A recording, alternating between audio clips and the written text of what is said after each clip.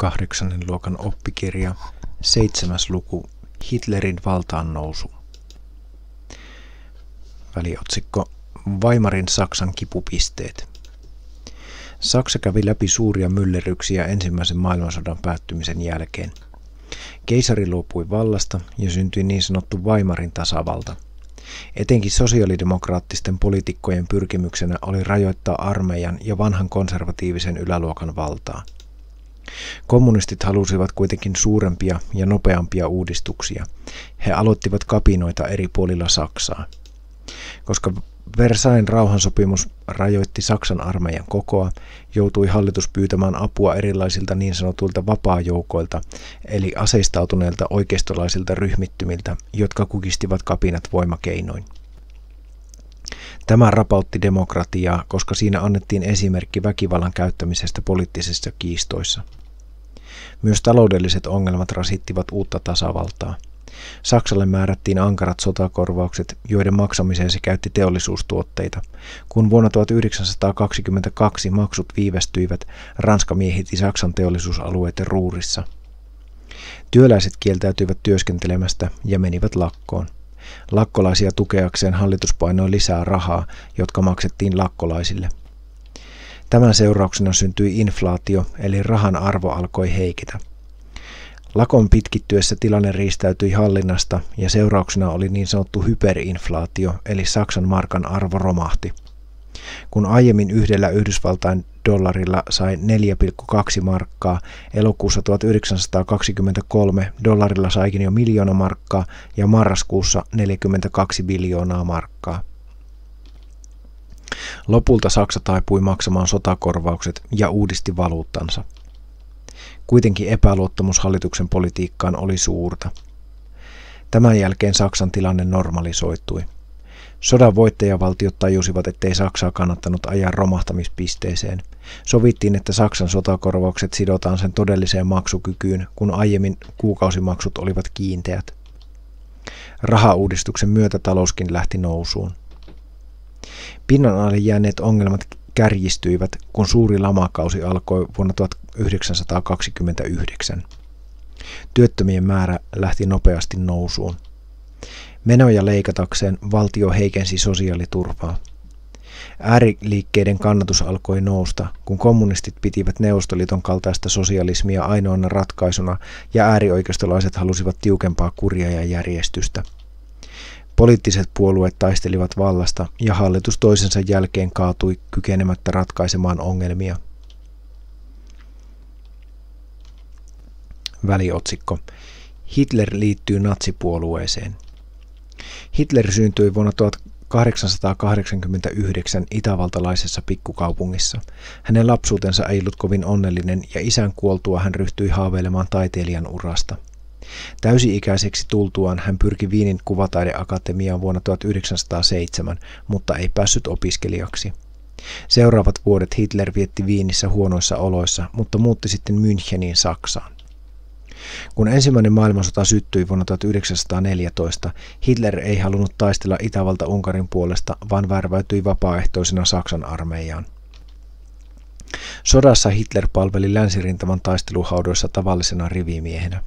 Hän sai ylennyksen ja rautaristi kunniamerkin, jota piti suuressa arvossa. Sodan loppuvaiheessa hän altistui taistelukaasuille ja oli sotasairaalassa sodan päättyessä. Sodan jälkeen armeijan tiedustelupalvelu lähetti hänet vakoilemaan NSDAPn kokoukseen. Hitler kiinnostui puolueesta ja liittyi siihen. Sangen nopeasti Hitler kohosi puolueen johtoon. Hän tuli kuuluisaksi pitämistään kiihkeistä puheista, joissa tuomittiin Versain rauha ja syytettiin juutalaisia ja kommunisteja Saksan ahdingosta.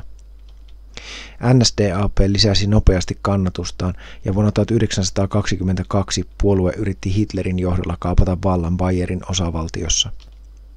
Myöhempänä tavoitteena oli vallankaappaus koko Saksassa. Hanke kuitenkin epäonnistui ja Hitler tuomittiin vankeuteen. Oikeudenkäynti kääntyy kuitenkin Hitlerin voitoksi, sillä tuomarit sallivat hänen puolustaa itseään pitkillä puheenvuoroilla, joita sanomalehdet julkaisivat koko Saksan alueella. Puolue sai paljon julkisuutta ja kannatusta. Vankilassa Hitler kirjoitti vuonna 1924 teoksen Mein Kampf, eli taisteluni, jossa hän pyrki kertomaan poliittiset tavoitteensa ja toimintansa motiivit. Teos on sekava hyökkäys juutalaisia ja kommunisteja sekä vanhaa valtiojärjestystä vastaan. Väliotsikko Natsien nousu valtaan. Vain kahdeksan kuukauden tuomion jälkeen Hitler vapautui vankilasta. NSDAP oli herättänyt paljon huomiota ja laajeni koko Saksan alueelle. Puolueen kannatus kasvoi vuosien kuluessa, mutta kovin suurta suosiota se ei saavuttanut. Tilanne kuitenkin muuttui suuren lamakauden myötä, kun työttömyys alkoi kasvaa. Hyperinflaation jäljiltä kansalaisten luottamus valtioon oli heikkoa. Siispä ääriliikkeet, jotka lupasivat muuttaa koko järjestelmää, saivat kannatusta. Sekä kommunistien että natsien kannatus kasvoi ihmisten epätoivon kasvaessa.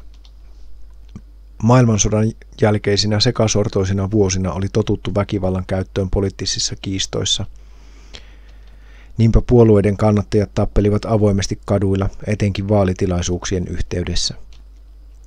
Natsien SA-järjestö kykeni sotilallisella organisaatiolla ja raalla väkivallalla ottamaan kadut haltuunsa, mikä osaltaan vaikutti äänestäjiä natsien kyvyistä. Perinteiset puolueet joutuivat huomaamaan, että hallitus toisensa jälkeen joutui eroamaan saamatta aikaan parannusta talouden tai työttömyyden suhteen. Samalla hallituksessa olleiden puolueiden kannatus pieneni. Lopulta maltilliset porvaripuolueet päättivät tehdä saman natseille. Hitleriä pyydettiin kansleriksi eli pääministeriksi ja natsien annettiin muodostaa hallitus vuoden 1933 tammikuussa. Saksan presidenttinä ollut vanha ja heikko kenraali Hindenburg siunasi päätöksen.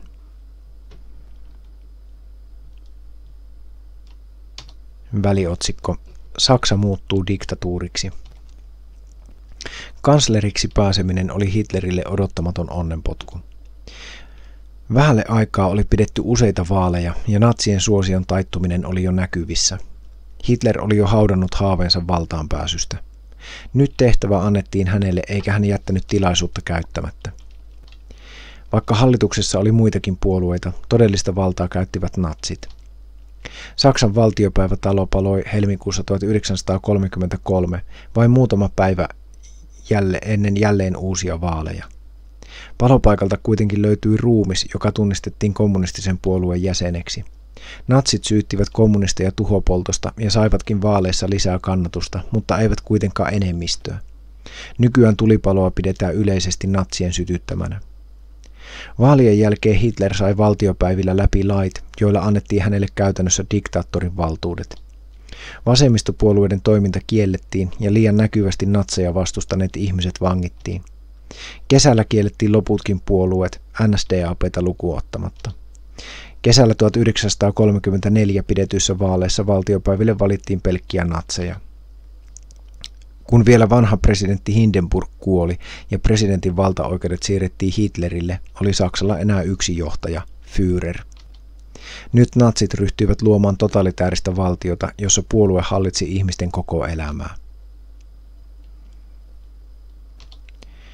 Väliotsikko Elämää natsi-Saksassa. Natsien valtakaudella kaikki muu poliittinen toiminta natsijärjestöjä lukuun ottamatta oli kiellettyä. Natsit perustivat erilaisia kansanliikkeitä, joihin ihmiset saattoivat liittyä. Lapsille oli Hitlerjugend, eli Hitler-nuoret, jossa oli erikseen tyttö- ja poikaosastot. Vuodesta 1936 lähtien jäsenyys oli pakollinen kaikille 14-vuotiaille arjalaiseksi määritellyille. Tarkoituksena oli, että jokainen lapsi liittyisi natsien nuorisojärjestöön, jossa hänestä kouluttaisiin hyvä ja oikea oppinen natsi. Ruumilliset harjoitukset, kuten marssit ja vaellukset sekä poliittisen ideologian opiskelu muodostivat nuorisotoiminnan selkärangan. Myös kouluopetusta muutettiin tukemaan natsien ideologiaa. 18-vuotiaana pojat siirtyisivät ensin vuodeksi työpalveluun ja sitten asepalvelukseen. Myös aikuisväestölle oli omat järjestöt. Natsit ottivat käyttöönsä myös rotuideologiansa mukaiset rotulait, joiden perusteella ihmiset jaettiin eri rotuihin. Lait olivat avoimen rasistisia, eli eri rotuja kohdeltiin eri tavoin. Ylimpänä olivat arjalaiset, jollaisena pidettiin syntyperäisiä saksalaisia. Alimpana olivat juutalaiset ja muut ali-ihmiset, joilla ei ollut juurikaan oikeuksia. Suomalaiset olivat rotuluokituksissa hyvin alhaalla, lähinnä mongoleja tai slaaveja eli ali-ihmisiä. Arjalaisten ja ali-ihmisten väliin mahtui vielä erilaisia sekarotuisia ja muita vähempiarvoisia ihmisiä. Tärkein tavoite oli saksalaisen veren puhtauden suojeleminen, eli etenkin juutalaisten ja arjalaisten avioliittojen estäminen. Oppia otettiin muun muassa Yhdysvaltain eteläosien rotulaista, jotka oli suunnattu mustaa väestön osaa vastaan. Tavoitteena natseilla oli mahdollisimman rotupuhtaan ja vahvan Saksan kansan luominen. Ongelmia aiheutti se, että ihmisen luokitteleminen jonkin rodun edustajaksi oli natseillekin melko vaikeaa. Heti valtaan nousunsa jälkeen natsit perustivat keskitysleirejä etenkin poliittisille vastustajilleen. Myöhemmin niille suljettiin myös juutalaisia ja muita alempiarvoisiksi katsottuja ihmisiä. Vielä ne eivät kuitenkaan olleet samanlaisia kuolemanleirejä kuin toisen maailmansodan aikaiset keskitysleirit. Osa vangeista vapautettiin myöhemmin, kun katsottiin, etteivät he enää toimisi natseja vastaan. Juutalaisiin kohdistettiin erilaisia sortotoimia ja pelottelukampanjoita, joista kuuluisin oli niin sanottu kristalliyö. Niiden tarkoituksena oli vielä tässä vaiheessa ennen kaikkea juutalaisten karkottaminen muihin maihin. Ongelmana oli, ettei oikein mikään valtio halunnut ottaa vastaan juutalaispakolaisia. Kappaleen teksti päättyy. Kuva 1. Vasemmanpuoleisessa kartassa näkyvät Saksan keisarikunnan rajat vuonna 1914 ennen ensimmäisen maailmansodan syttymistä. Karttaan on merkitty alueet, jotka Saksa menetti sodan päättyessä. Oikeanpuoleisessa kartassa on Saksan rajat vuosina 1919-35. Kuvan lähde Jussi Kämäräinen. Kuva 2. Saksalaisnainen sytyttää hellaan tulta seteleillä, jotka inflaation myötä ovat muuttuneet arvottomiksi. Paperi on halvempaa kuin polttopuu tai hiili. Kuva 3. Kuvassa Hitler äärimmäisenä oikealla. Hitlerillä ei ollut juurikaan ystäviä rintamalla, koska hän oli toisaalta hiljainen ja syrjään vetäytyvä, toisaalta innostuessaan toiset sotilaat pitivät häntä epämiellyttävänä henkilönä. Kuvan lähde Wikipedia. Kuva 4.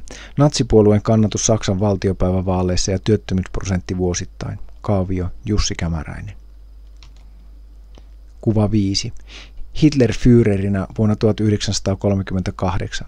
Toisin kuin monet muut natsisaksan johtajat, Hitler ei haalinnut kunniamerkkejä itselleen. Kuitenkin hän käytti lähes aina ensimmäisessä maailmansodassa ansaitsemansa rautaristia. Kuvan lähde Wikipedia. Kuva 5. Natsit linkittivät aatteensa osaksi historian jatkumoa. Hitlerin noustessa valtaan Saksasta ryhdyttiin käyttämään nimitystä kolmas valtakunta. Aiemmat valtakunnat olivat pyhä saksalais-roomalainen keisarikunta keskiajalla ja vuosien 1871-1918 keisarikunta. Monet natsijohtajat myös loivat yksityisiä hovejaan, joihin he ottivat mallia menneisyydestä – Yksi tunnetuimpia ja omituisimpia oli SS-johtaja Heinrich Himmlerin Wewelsburg, josta oli tarkoitus luoda koko SS-järjestön keskus ja pyhättö liikkeen marttyyreille. Kuvan lähde Wikipedia. Kuva 6. Oheiset Hitlerjugendin pojat ovat jo hieman vanhempia kuin 14-vuotiaita. NSDAP-rotupolitiikan toimisto on erityisesti valinnut pojat kuvaan esitelläkseen saksalaisen rodun parhaita edustajia vuonna 1933. Kuvan lähde Wikipedia. Kuva 7.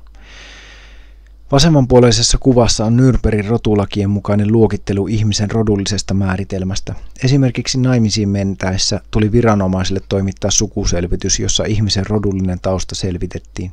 Oheisen kaavion avulla voitiin laskea, onko ihminen saksalaisverinen vai sekarotuinen vai ali-ihminen.